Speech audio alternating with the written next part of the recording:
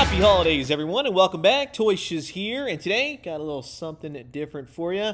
The holiday season is finally upon us. It's nice and cold outside, and well, who am I kidding? It's 100 plus degrees out here in California, so I thought it'd be really cool to do a Christmas in July and take a look at Fresh Monkey Fiction's Naughty or Nice collection. Starting off with one cool looking zombie Santa Claus. As you can kind of see, naughty or nice. Pick your adventure. You're to go more for the naughty or the nice, right? Nice packaging overall. It's very much just Marvel Legends boxes with Christmas's packaging, right?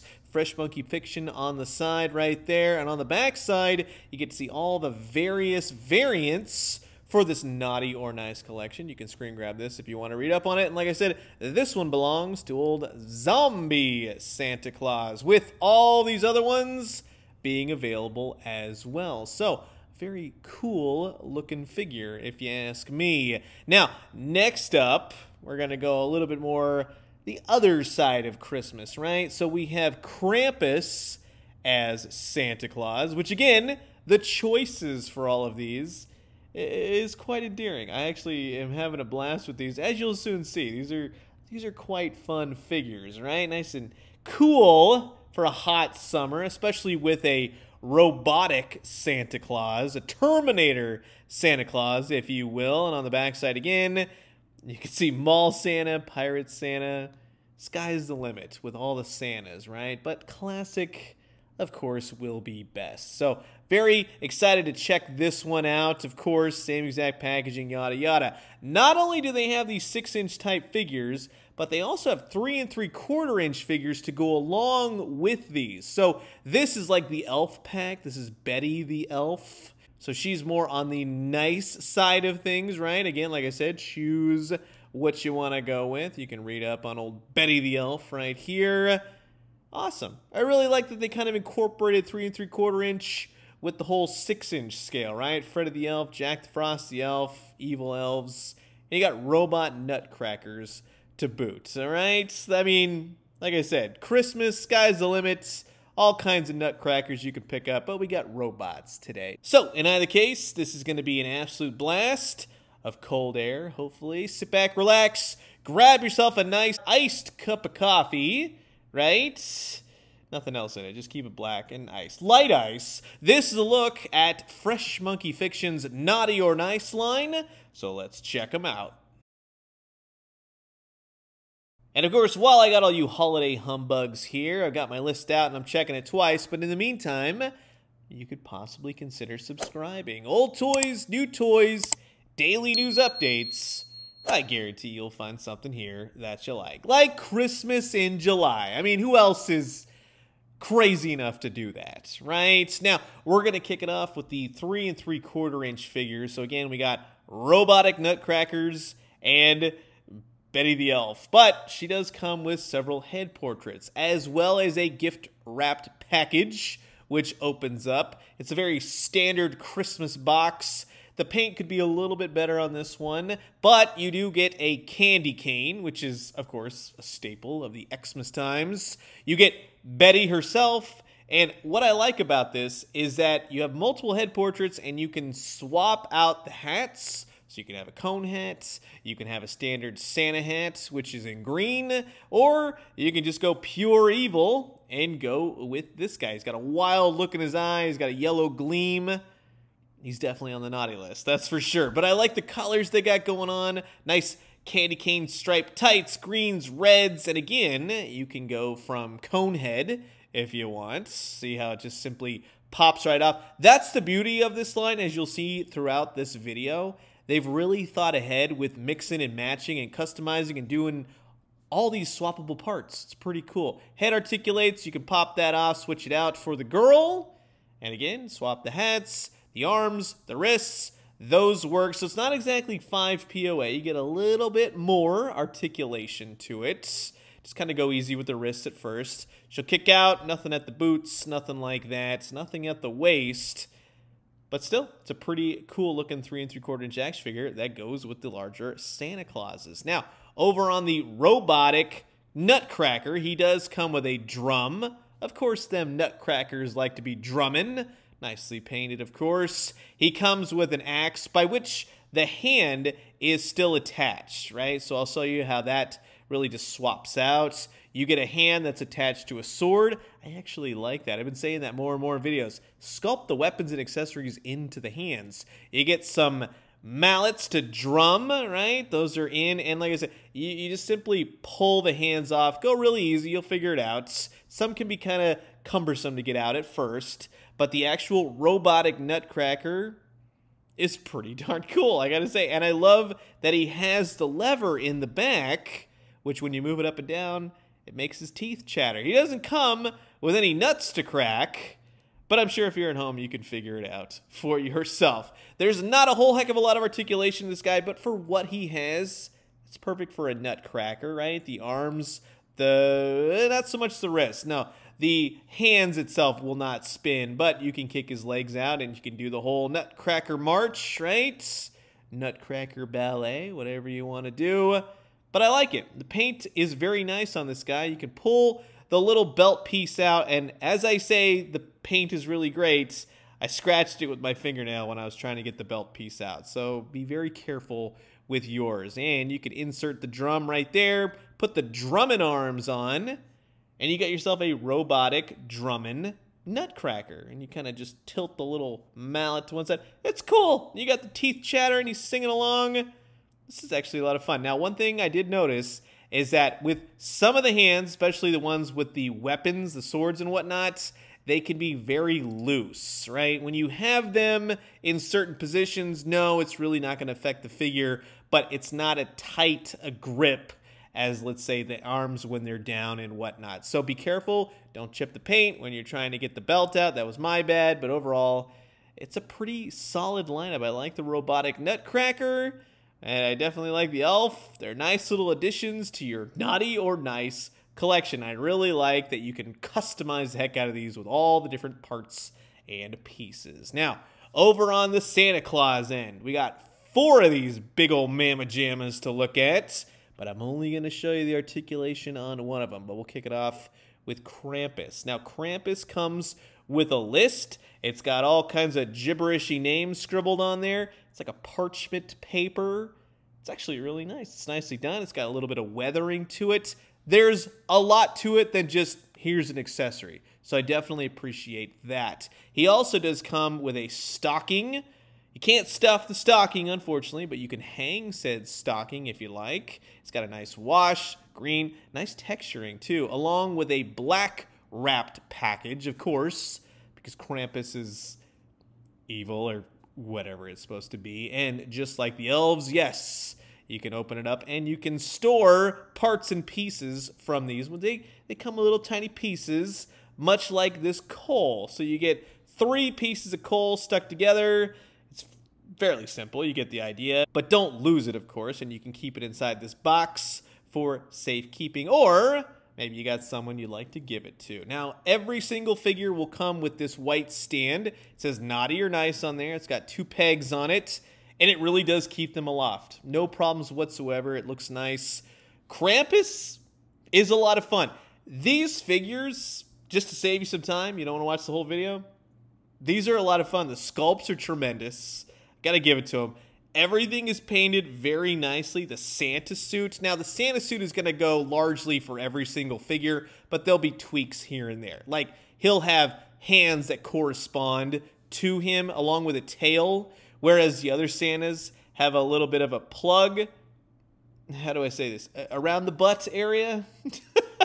Just keep that in mind. But for the Krampus figure, you get a tail and you get inserted you get some articulation. But I love the eyes, the tongue is hanging out, the hands are really cool. The only problem I would say that I kind of ran into is because the hands are open, you don't have more of closed hands. You can't really hold the accessories perfectly, but overall, the shading on the costume, the tail, the hands, the boots, it's got little buckles right there. They're all painted. He's got peg holes on the bottom.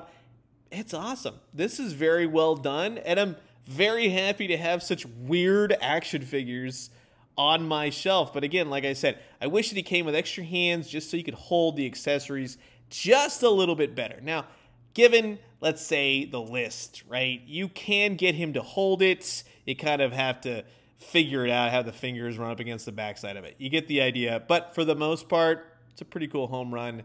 Definitely sinister cool. Now, moving on, we're going to go a little bit more crazy, right? So we have Zombie Santa Claus. He too comes with some coal, right? It's very simplistic. He comes with a purple package, which is kind of jokerized in a way, right? We're kind of been on that. Opens up, closes, you get the idea. Put the coal in there. He comes with a plate, two cookies, and a glass of black milk. And I gotta say, that's pretty darn cool, right? The cookies are fairly simplistic, but you get the idea. You get the cup with the black milk in there, and the milk come out, so he drank the milk. You know what I mean? They've thought of everything. This, this is fun. Again, you can hear the fun in my voice. You got the plate, everything's removable. You can toss it around. You got the bottom side of the plate. Each of these figures, for the most part, come with hands that can hold this pretty darn good. So it's a home run, right? He also comes with alternate hands. Now, because I got holiday on the brain, right? I'm thinking like, oh, is this this is the human before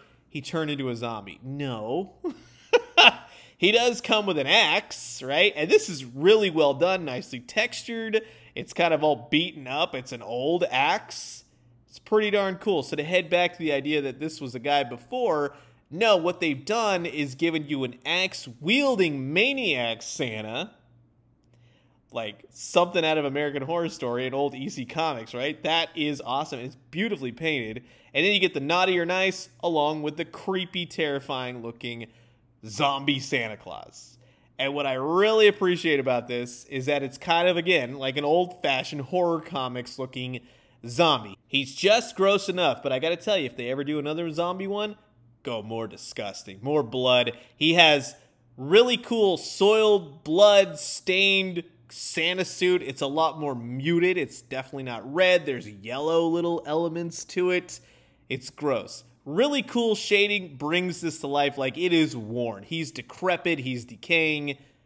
This is a lot of fun. He's got the zombie hands, right? He's green. He's the green zombie. He's got blood dripping out of his mouth. Part of his lips are gone sunken eyes, nose has been bitten off. I mean, what else could you ask for for the holiday season, right? You could pull the cap off. That's a nice little touch. It's a bit of a squeezy hat, right? Nice and rubbery. You get to see his golden deadlocks all the way around, right? Because his head's all been rotten. So that's cool. So hat on, hat off. It's up to you. The hands outstretched, very zombie like, right? Like he's lurching forward. He needs some brains. That actually would have been a cool accessory. You should have given Santa some brains. That would have been cool, right? Brains. Or Axe Murderer. And I gotta tell you, as much as I love the zombie, I kind of like the Axe Murderer one better. He's terrifying. This is a freaky looking, like this is a real guy, right? This is, ugh, this is awful. It's just awesome, right? You can remove the hat, take the hat off. He's just sinister. He's creepy. It's an awesome figure, right? Now, moving on. We got this guy right here, the Terminator Santa. He comes with the exact same list. He gets a pump action shotgun. I wish you could actually pump it. That would have been a nice touch. It's fairly simplistic, but it's an all black shotgun, right? He comes with a gift. It's red and green this time. You can open the box, yada yada. You get the idea. And you get this really cool alternate head where all the flesh has been ripped off the top part of the face and he's left with nothing but. Get the idea, right? Not on your nightstand, and a robotic Santa with the red eyes, and part of his face has been blown off, and he's got robotic hands.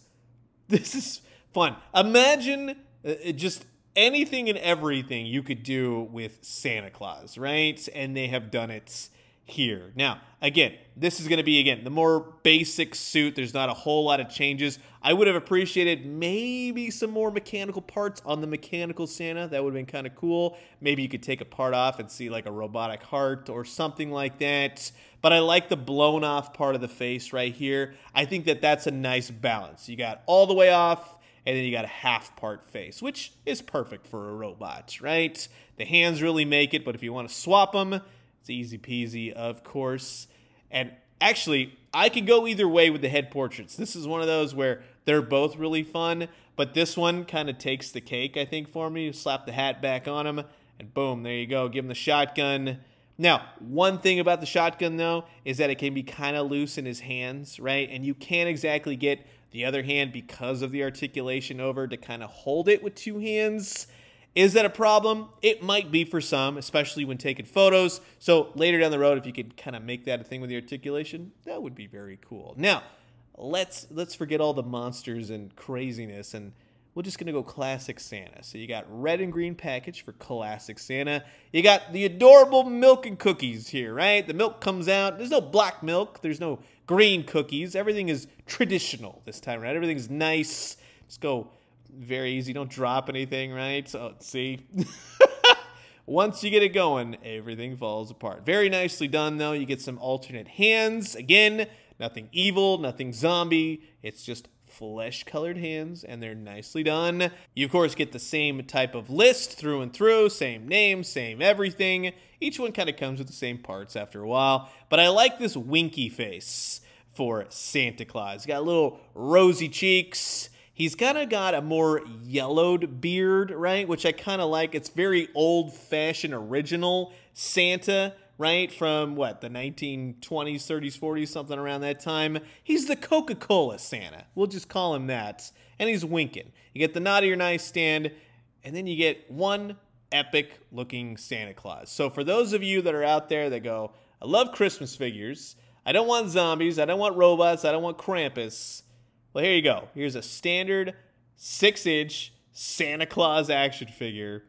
He's pretty cool. Again, Take the hat off, you get to see his bald head. He's very nicely painted. He does come with a pointer finger hand, though that's awesome too, right? You could point at everybody like, you get a gift, and you get a gift, and you get coal. Now, the arms, the articulation, everything on this guy, you're not going to get a whole heck of a lot of movement out of the head because of his big old beard, but you can spin it, and you can kind of look off to the side. His big old coats around the collar kind of will impede it a little bit, but at least you get a little bit of movement out of it. It's enough for me. The arms, they'll go out about that much. They'll go all the way up about that much, right? Nice articulation. Nothing had to heat up, by the way, either. That's cool. You'll spin at the elbow, single jointed elbows, and then, of course, you got some wrist spin and rock, and you get the idea. Now, he does have that big bowl full of jelly for a gut, right?